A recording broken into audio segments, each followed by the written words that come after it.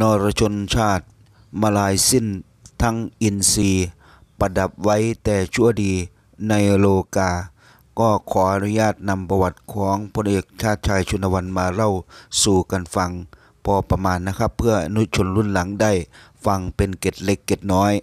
โนพรอมพลีแพรมเป็นประโยควลีเด็ดที่พลเอกชาติชาย ได้ให้สัมภาษณ์เป็นวลีเด็ดที่โด่งดังในพศ 2533 34 35 นะครับ ซึ่งวลีเด็ดนี้ที่ท่านเคยให้สัมภาษณ์กับสื่อมวลชนในสมัยนั้นไม่ว่าจะสอบถามเรื่องอะไร ท่านก็จะพูดว่า no problem problem ก็คือไม่มีปัญหา จนวงดนตรีคาราบาวได้นำไปร้องเพลง no problem no problem นั่นแหละครับ ซึ่งเป็นประโยคที่โด่งดัง ถ้า อยากจะฟังว่าผลงานของเอ็ดคาราบาวเขียนยังไงก็ไปติดตามได้ใน YouTube นะครับ ครับผมวันนี้เราก็จะมาเริ่มประวัติของพลเอกชาติชายเลยนะครับ ครับผมประวัติของพลเอกชาติชายชุนวันนะครับ เกิดวันที่ 5 เมษายน พศ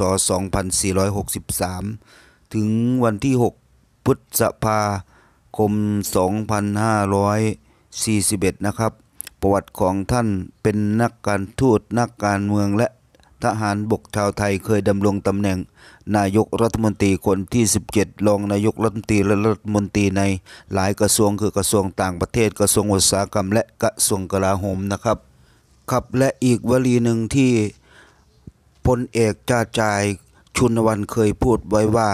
จะเปลี่ยนสนามรบเป็นสนามการค้านะครับ วลีนี้ก็โด่งดัง เราไปเริ่มต่อเลยนะครับพลเอก ชาติชายชุณหะวัณเข้ารับการศึกษาที่โรงเรียนเทพศิรินทร์นะครับ ในโรงเรียนนายร้อย พระจุลจอมเกล้าโรงเรียนนายทหารม้าและโรงเรียนยานเกราะกองทัพบก Armor School มลรัฐเคนทักกีสหรัฐอเมริกา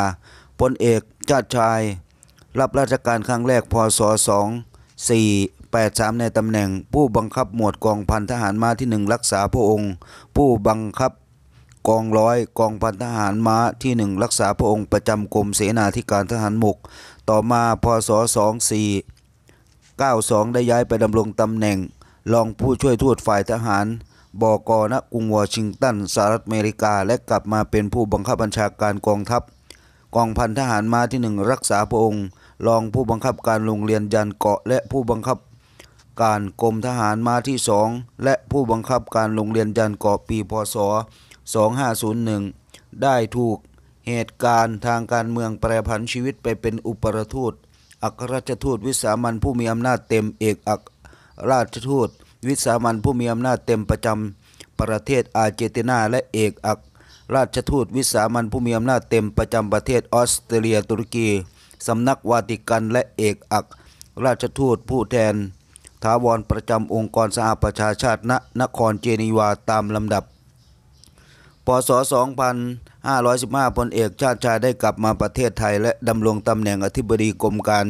เมืองกระทรวงต่างประเทศ พศ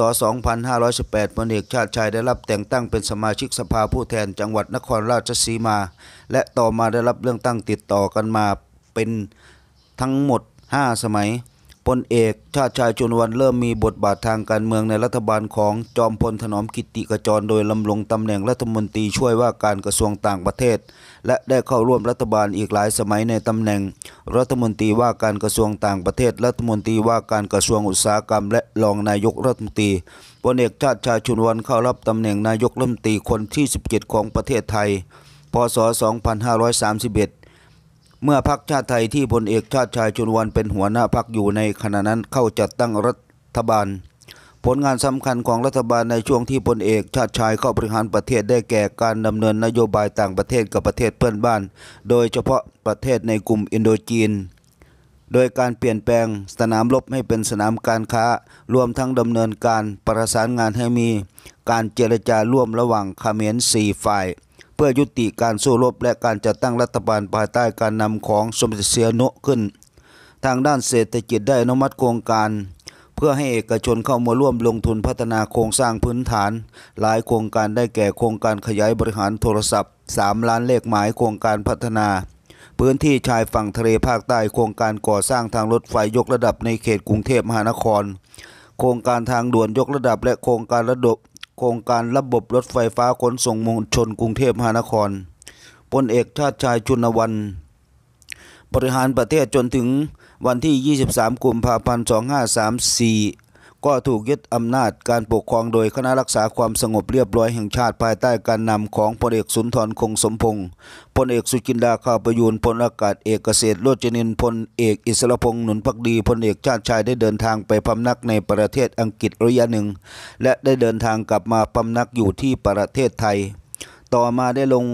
สมัครเลือกตั้งเป็นสมาชิกสภาผู้แทนราษฎร จังหวัดนครราชสีมาในการเลือกตั้งทั่วประเทศ วันที่ 13 กันยายน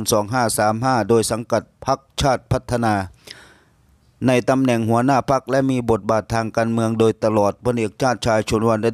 ได้ถึงแก่อสัญญกรรมวันที่ 6 พฤษภาคม 2541 ที่โรงพยาบาลคอมเมนประเทศอังกฤษ คอมเวล ประเทศอังกฤษรวมอายุได้ 78 ปี ครับผมสำหรับนี่ก็คือเป็นประวัติโดยย่อของอดีตพระท่านนายกรัฐมนตรีพลเอกชาติชายชุนวันนะครับ ซึ่งบทบาทสำคัญ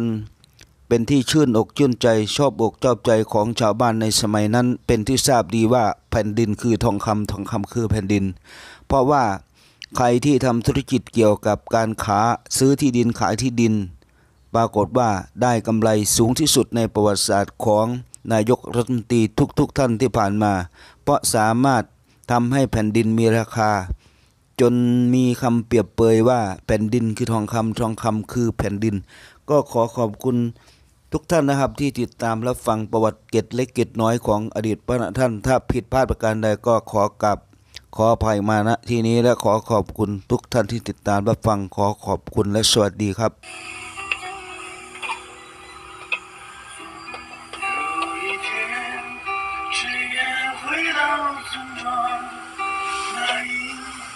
shit.